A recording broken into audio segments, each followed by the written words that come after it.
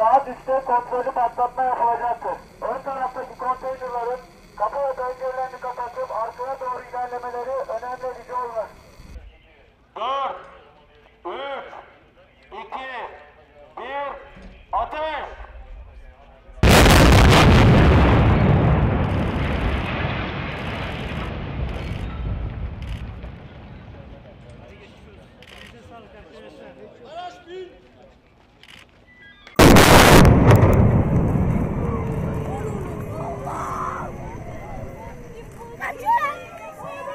Abi çok iyi bir görüntü çıktı.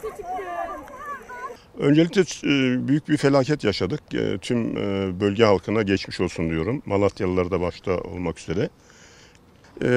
Patlatmalı kazı, kontrollü patlatmayla yapılan bina yıkımı elbette dediğiniz gibi dünyada uygulamaları var ama daha çok hazır olan, herhangi bir deformasyona uğramamış olan, yüksek yapıların, kulelerin vesairelerin yıkımını esas alan uygulamalardır. Dolayısıyla e, içinde çalışmanın riski yoktur. Şarj ederken risk yoktur. Kullanacağınız patlayıcı e, miktarı konusunda riskler yoktur.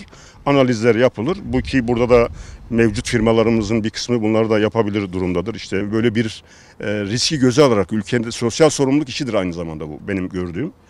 Risk burada da var. Tabii ki burada da ramakkalar riskleri var. İçinde ekip giriyor, delikleri deliyor, e, rölevesini çıkarıyor, analiz ediyor.